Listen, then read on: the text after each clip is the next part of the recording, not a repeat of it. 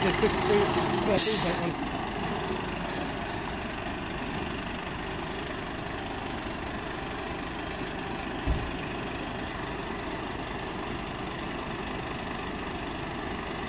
Got